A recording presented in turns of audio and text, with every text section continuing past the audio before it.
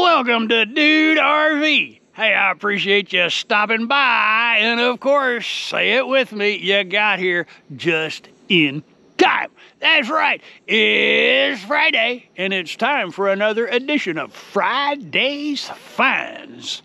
And we're going to kick off this edition of Friday's Finds with a product that's not going to be found on Amazon. It's not a sponsored product, but I think it's a it, it's such an important and valuable product for you, the RVer. If you're an RVer, you may not be an RVer, but if you're an RVer, you're going to want to see this. This was totally out of pocket for me. This is from, hold on, gotta get the, got it, it's upside down. I gotta, gotta rotate my box. This is from Shade RV. This is a Texas-based company. They're out in West Texas. Uh, the prices were surprisingly lower than I was expecting. Uh, when I was researching putting up a shade structure for the motorhome, uh, I went through a couple of different thought processes and thanks to a Google internet search for RV umbrellas, I ran across the Shade RV website. I'm all in on this for right about $900. Now, I don't normally talk about pricing because pricing is dynamic, but to put that in perspective, $900 for this, and if it works, it'll pay for itself in one year. Uh, to, to put up a, a shade structure for the motor home on our RV pad, we're looking at 14 10 12 to 14,000 for one of the inexpensive metal ones. I can do a fabric shade for somewhere around $700 that would be six posts stuck in the ground and a shade cloth stretched tight over the RV and it would be a permanent fixture here. And for 900 I have a shade that I'll be able to take with us. So we're going to unbox this and I'm going to figure out how to put that up there on top of Trudy Thunder. And we'll, we'll go from there and see what's inside. Right off the bat, I, I'm liking what I'm seeing. I like the, I like the fabric.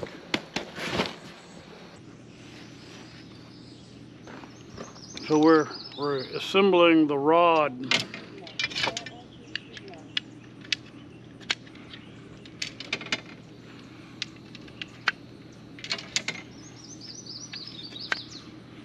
And now we take,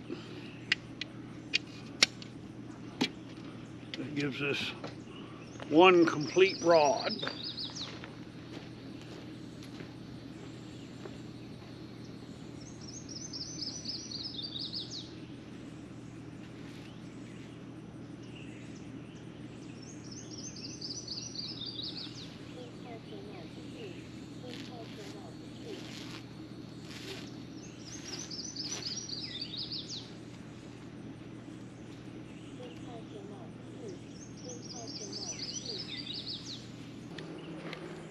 So each one of these rods has a socket. for a place to put the, the rod right there.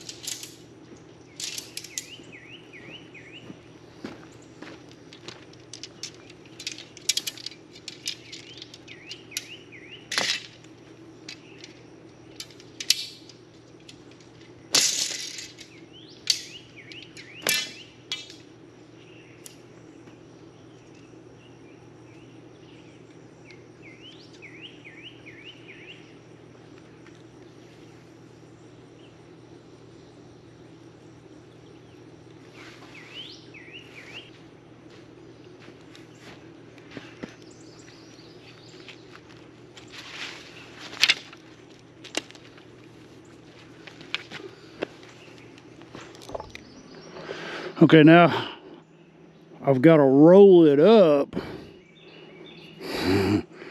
but I got to roll it up so it's upside down.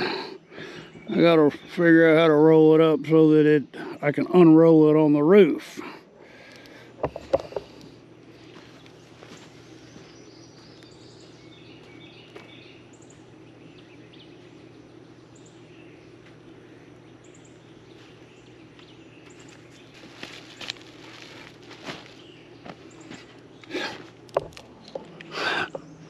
That would have been easier with a second person. Good forearm workout. All right, now that's ready to go on the roof. Now I got to figure out the, the tie down points. How are we going to secure this to Trudy Thunder? Got to sort through all this figure out the best way to do it.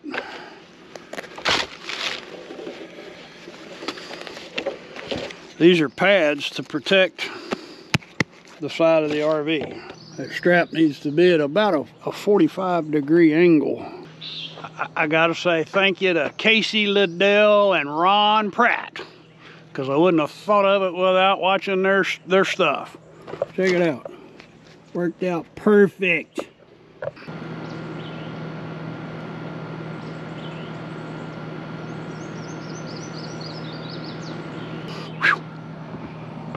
Okay, the next step is to start unrolling and tensioning the straps.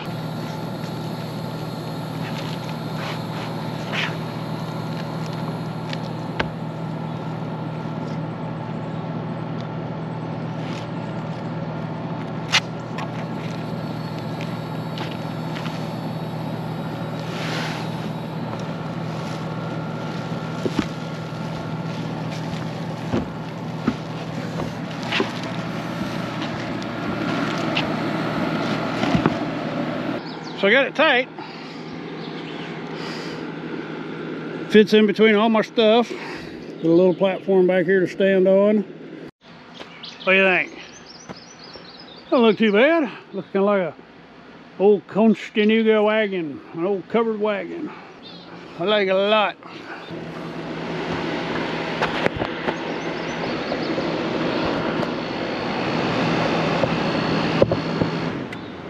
Plenty of room under there for airflow. Summer is almost here. This arrived just in time.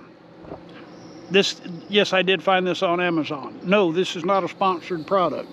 This is the Coolify Air Ultralight Personal Air Conditioner. It's not just one of them fan things. This is actually a bona fide cooling device. It has these power, these plates that are like superconductors or something, and, and they chill it down, supposedly. A 500 milliamp hour extended battery and a fan. It also heats. So we're gonna open this package and see what's in it, and then I'm gonna chill it down, charge it up, not chill it down, charge it up, and then tomorrow, maybe this afternoon, depending on how long it takes to charge, we'll see how well it works.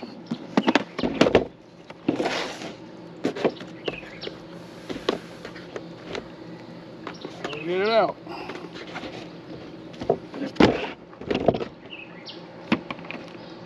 There's a cord.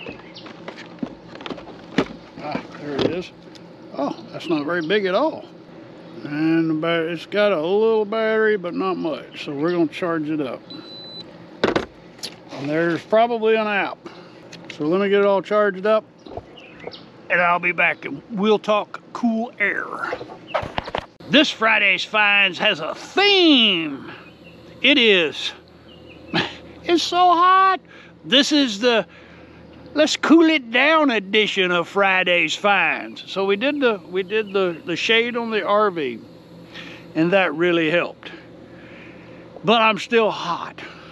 The little air con neck air conditioner, working with it, and it actually works, but I'm still hot. You know what would be great right now? Little ice cream. I'm so excited.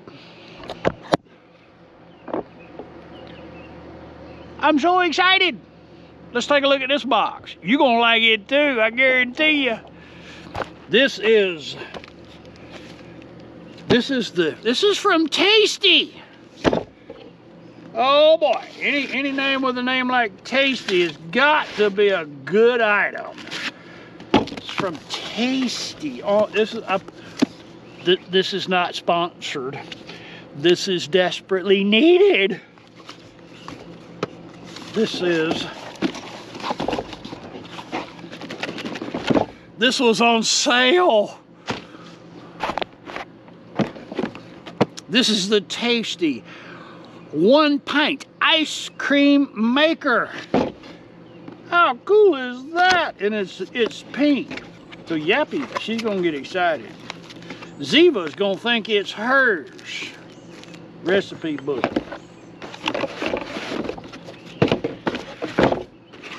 Check it out.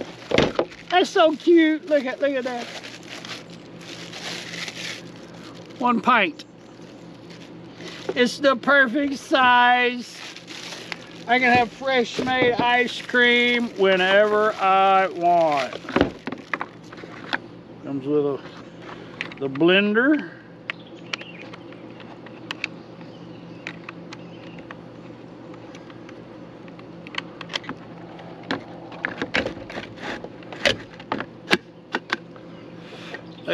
That's the perfect size. So we have to, uh, I got to go get this clean.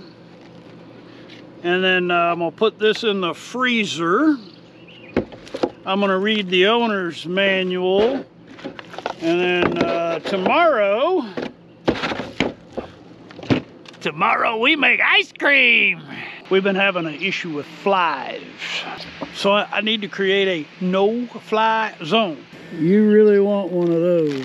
Trust me. So I did a little, little surfing on Amazon. This may not work. I don't know.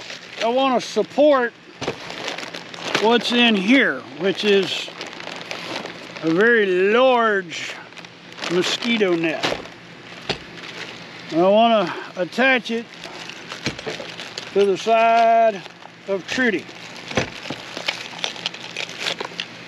check out the size of that suction cup. Trudy's got a automotive paint job, so it's super, she's super slick. Comes with a couple of stainless steel S-hooks. You clamp that on, and then you have a, an anchor point. So the plan, the plan is to put this right up here. And we're going to hang that mosquito netting from a two or three of these maybe four. Depending on depending on how it all plays out. So that's our suction cup that's the mounting point on the side. And then we have the netting so let me go to work We'll see if we can create a no-fly zone. Well, good morning. Worked several hours yesterday in the heat. Realized I, I was a little short on idea for one. Because uh, originally what I was was doing this no-fly zone in my head, it was basically going to be a draping tape. So when I pulled out all the, the mesh and spread it and kind of pull it out, I realized, well, I'm to I may not have enough to do what I had in my head. Uh, and it would be nice if we had some shade on this side of the RV because it catches that morning sun and, and heats up the wall. So I ran to town, and as I was going into town, I had an epiphany about some material that I already have, which are the uh, several episodes back on Friday's Finds, I talked about tarps. uh, shade tarps specifically. I have two of those. They're very similar to the the RV shade thing. Uh, so I actually have a small one and I pulled it out. Small being 8 by 10 And there we go.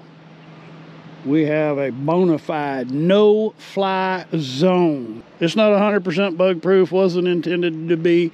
You see the flies like to hang out on the side of the RV and they do it right at the door.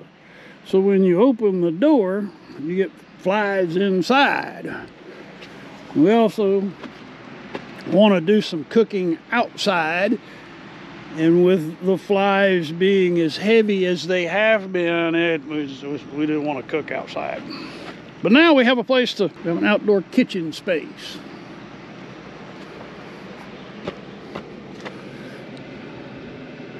Caught two already. I just put this out, three. We're happy, very happy. Got a little breeze when there's no wind blowing. So I'll I'll provide uh, I'll add to the Fridays Finds playlist the, the these tarps because these are great. I, I, travel with two because if you need a windbreak, you got one. If you need a shade, you got one. We're gonna make some ice cream. Half cup, two eggs, vanilla, and quarter cup.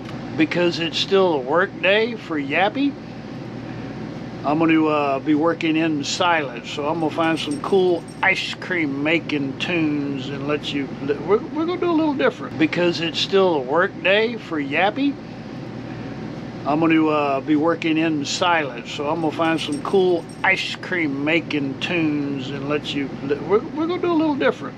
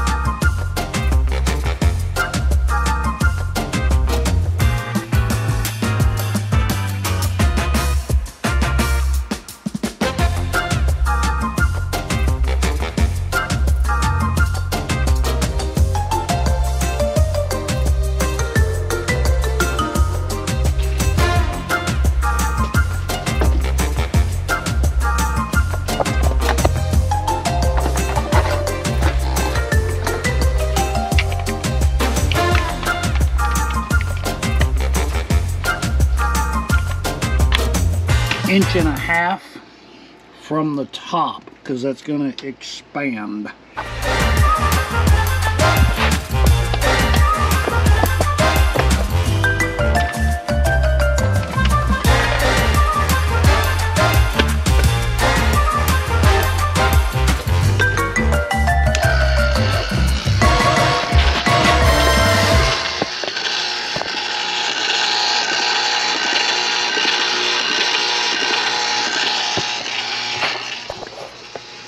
Now we wait.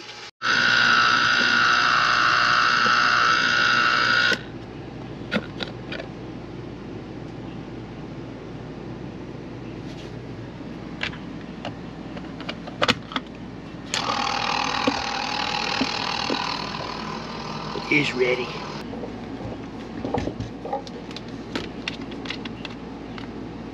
And that's in your narrative anyway. Okay, so the um, he wasn't working. I mean, we really. A couple days later, a couple days after those two projects, uh, and we've reached the end of this video. But before I closed it out, I wanted to, you know, have a little some time so I could give you my my honest, bona fide opinion.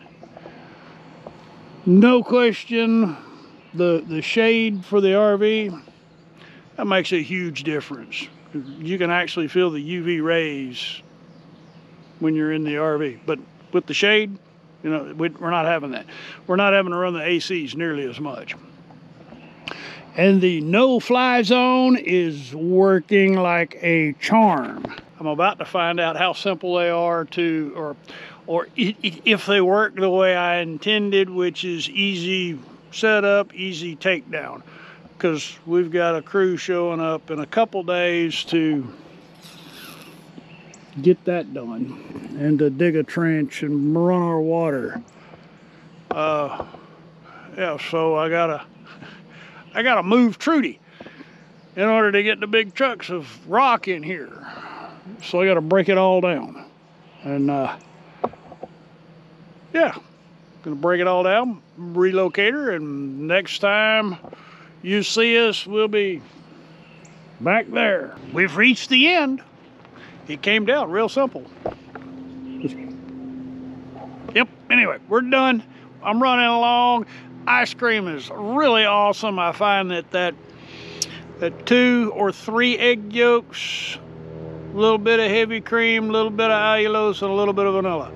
It's keto friendly, tastes really good, and since I'm on this ketovore diet, I, I need lots of fat, and so I'm eating that every day like that ice cream maker so much, I've got a second one on order so that I can make more. I'm, I'm living on ice cream. How can you complain about that? Anyway, if this is your first visit to Dude RV, if this is your first visit to Dude RV, thank you so much for spending time with us. If you found something of value, I'd sure appreciate it if you'd slap that thumbs up.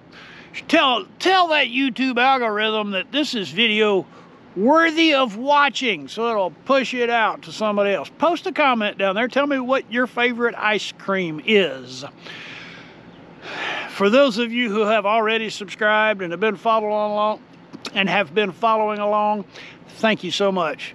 I really appreciate that. It helps so much and for our patrons we are so grateful for your generosity thank you you guys rock. All right. Y'all come back now. You hear?